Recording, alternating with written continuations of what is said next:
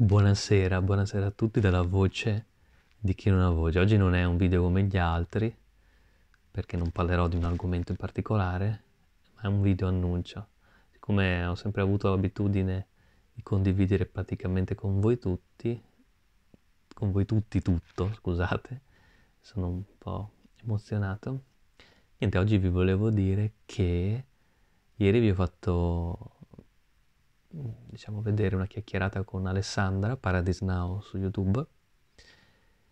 Trovate tra l'altro il link qua nel primo commento del suo canale, se per caso non, non avete mai visto i suoi video. E mm, avevo fatto questa chiacchierata, però lei non è semplicemente per me una youtuber. Ci siamo visti di persona due mesi fa, circa due mesi e mezzo fa. No, aspetta, siamo a primo novembre, era, era il 25 settembre, sì, più o meno. Comunque, siamo visti a settembre, e, però è da mesi che parliamo via Skype, eh, chattando e volevo ufficializzare con voi il fatto che io mi sono fidanzato con lei. Ci siamo fidanzati, l'ho da poco anche annunciato su Facebook, ovviamente come cosa simbolica. Io credo poco a quelli che hanno bisogno di ostentare su Facebook il fatto sono fidanzato ufficialmente, però come cosa diciamo di contorno, non certo sostanziale, per me può starci, ecco. Non bisogna essere esagerati nell'attaccare la forma. Io ah, sono un esaltatore della sostanza, abbasso la forma, questo non significa che non ci possa essere anche della forma, l'importante è non essere schiavi della forma. Quindi anche su YouTube volevo dirvi che io e Alessandra, in quanto entrambi youtuber, poi ho un canale un po' più grande, però siamo tecnicamente dei youtuber entrambi, eh, da oggi siamo insieme. Io mi sono innamorato di lei e più che altro perché faccio questo video, perché non è che nella mia vita ho sempre annunciato gli eventuali fidanzamenti, eccetera. Perché comunque questo aver conosciuto lei, questo essermi innamorato di lei, questo aver deciso di mettermi insieme a lei, comunque mette in discussione tante delle mie certezze sull'argomento amore e innamoramento. Io da anni, forse da un anno e mezzo, che parlo di innamoramento. E lo critico, lo, lo più che altro lo sminuisco, ecco il mio, il mio messaggio è sempre stato ultimamente, l'innamoramento è fuffa, non bisogna esaltarlo, perché l'amore è un'altra cosa. Oh, senz'altro concentrare una storia solo sull'innamoramento è sbagliato, ok? Perché questo così come viene va. E quindi l'amore è anche al di là dell'innamoramento. Però ho cambiato idea da quando ho conosciuto poi, cioè non è che poi mi sono innamorato di Alessandra il primo giorno che l'ho incontrata, è stata una cosa graduale, però da quando iniziato a conoscerla sempre di più e da quando sono iniziati a sorgere in me certi stati d'animo, certe emozioni, ho capito che l'innamoramento, anche se non può essere identificato con l'amore, solo quello, è però molto importante, perché ti dà delle energie che altrimenti tu non avresti. È come se l'innamoramento fosse una sorta di scintilla che ti fa sentire ancora più vivo.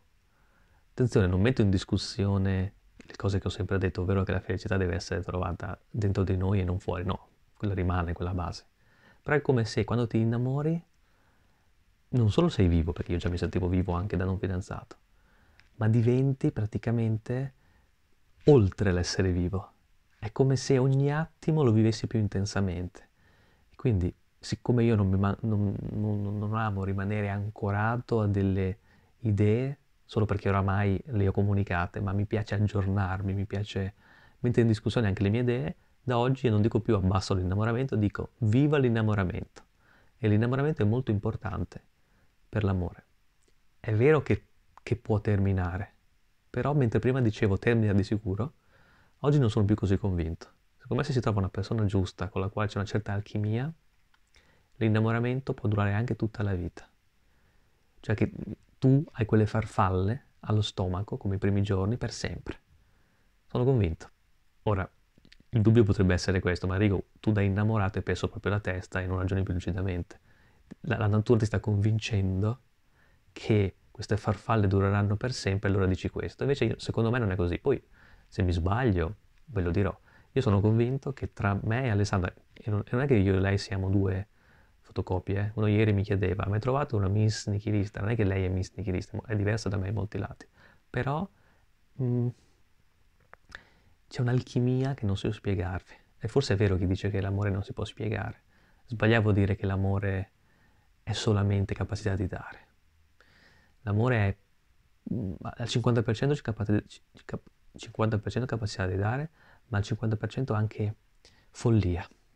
Tanto, quindi la follia è molto, è tanto, ma follia nel senso che tu non sai perché, ma quella persona non lo sai perché, non lo sai. E non c'è niente di male nel fatto che non sai perché.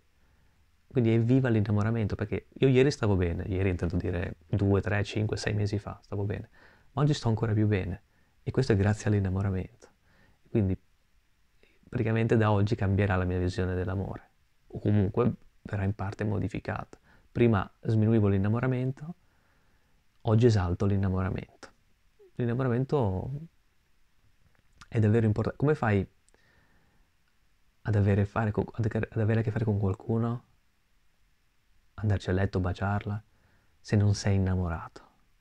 Certo, puoi andarci a letto una volta, ovvio, ma se non sei innamorato, poi dopo una volta non hai più voglia.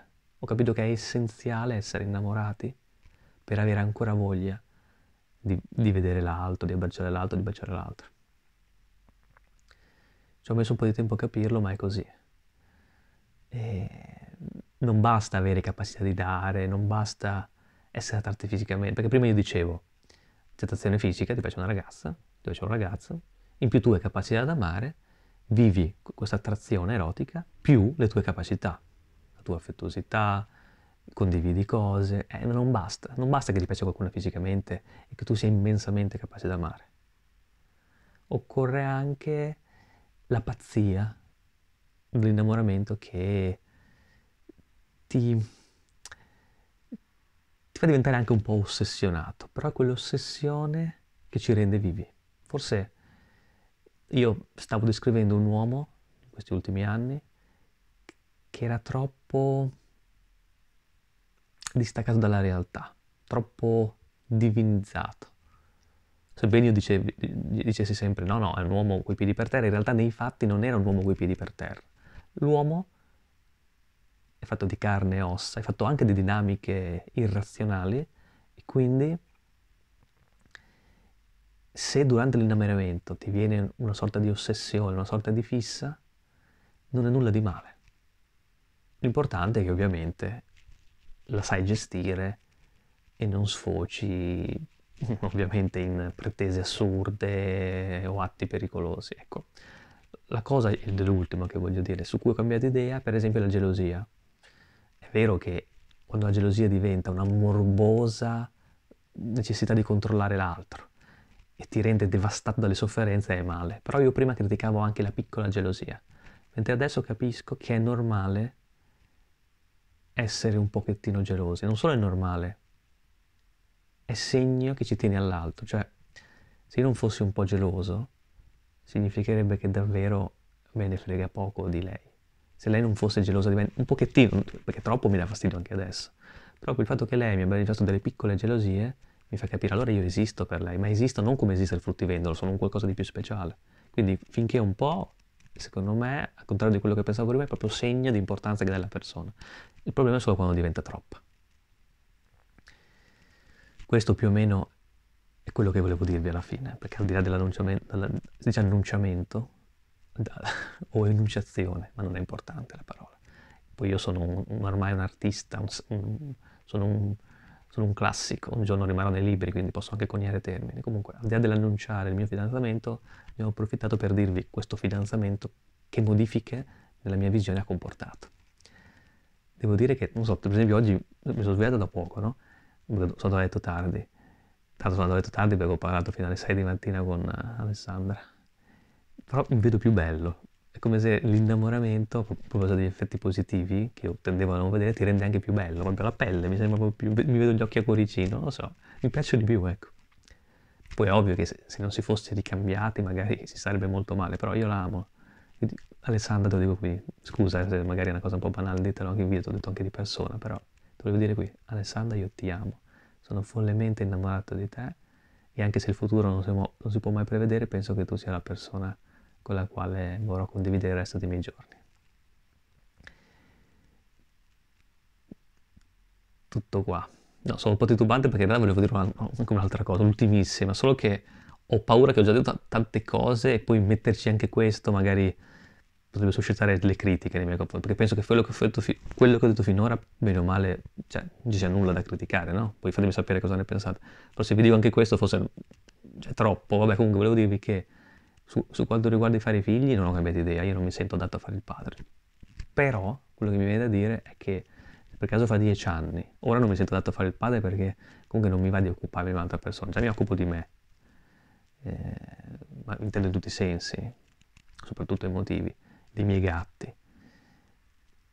L'idea di dover spendere gran parte delle giornate ad occuparmi anche di un, di un bambino, di una bambina, io non, non mi ci vedo. Però se fa dieci anni io ed Alessandra ci sentissimo pronti più adatti, perché neanche lei adesso si sente adatta, o fa cinque anni, ecco, magari saremo troppo vecchi se no, perché no? Ecco, non lo escludo, però ecco, la differenza è che eh, non direi mai che quel fare figlio è un atto d'amore, semplicemente è che quando tu ti senti così compatibile con una persona, forse ti viene naturale voler creare anche una sorta di nucleo familiare. È vero che la famiglia è anche gli amici, è persone in generale cui vuoi bene, però è come se quel bambino, bambino frutto della, vo- della vostra unione fisica fosse qualcosa che voi produce, non è che è direttamente un atto d'amore, però è prodotto anche dal vostro amore, quindi c'è una cosa in sé carina, anche se io oggi non, non mi sento pronto, ecco. È un po' quasi... Cioè, oggi capisco chi, chi dice che fare figli è un po' un completamento dell'amore. Magari sbaglia chi dice che se non si fa il figlio l'amore è a metà. No, l'amore può essere appagante anche senza il figlio, però è come se quel figlio fosse ancora una, una manifestazione ancora più concreta di quell'unione. Quindi penso che non farò figli neanche in futuro, però mentre prima dicevo senza se mai, mai, no, senza se, senza ma mai, oggi potrei dire, potrei, potrei anche cambiare idea se mi venisse voglia. Penserei che è un atto egoistico e, mi, e l'amore eventualmente verrebbe dopo, però ecco, da, da innamorato non sono più così apodittico, ecco, non sono così più certo del fatto che non accadrà in futuro, però vabbè, se ne parla fra tempo e dipende da varie condizioni. Perché comunque poi, cioè, vedere anche, pensavo sta cosa, vedere in questo bambino un po' i tuoi occhi, un po' i suoi occhi, un po' il suo modo di camminare, cioè è come se in quell'essere ci fosse un po' di te e un po' di lui. E allora in questo senso è un po' una... Conti- a volte uno pensa che l'amore vero sia quello che duri per sempre. Io, io questo l'ho sempre pensato. Secondo me anche, anche quando le persone si lasciano, se si smette di amare non si è mai amato. Si può continuare ad amare anche se la persona non c'è più, dentro il proprio intimo cuore. Però la morte pone fine a questa no, immortalità dell'eventuale amore. Ma se tu fai un figlio, in lei, nella bambina o in lui nel bambino, rimane qualcosa di te e di lei, di questa unione. E a sua volta se anche lui fa figli è come se nel piccolo, perché poi passando le generazioni rimane, se- rimane sempre di meno, no? Degli avi, però qualcosa rimane.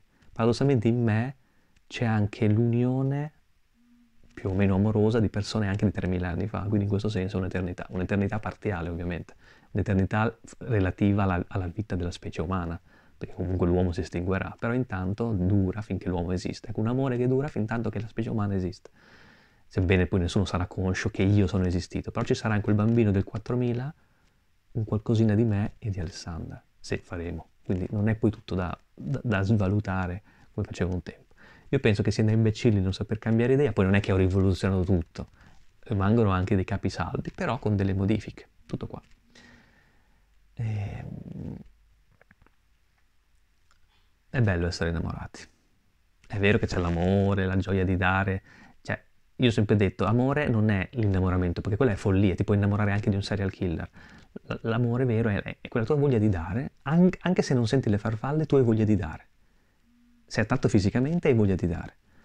L'innamoramento è meglio che non ci sia, mentre oggi vi, vi dico, evviva anche l'innamoramento. Con i suoi mal di pancia, con i suoi mal di stomaco, perché comunque l'uomo è anche folle, quindi viva anche la, la follia. Un abbraccio e spero che siate contenti così. Io sono contento, se, se, mi stimate, se mi volete bene, penso che dovete essere contenti, che sarete contenti, non dovete, scusate, penso che sarete contenti della mia contentezza. Fatevi sapere comunque cosa ne pensate, se siete contenti di questa mia, così, novità.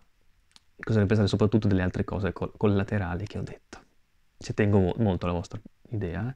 Se siete arrivati fin qui scrivete viva l'innamoramento e viva chi sa cambiare idea. Se siete arrivati fin qui voglio vedere che l'ha visto tutto perché ho detto cose importanti. Viva l'innamoramento e viva chi sa cambiare idea.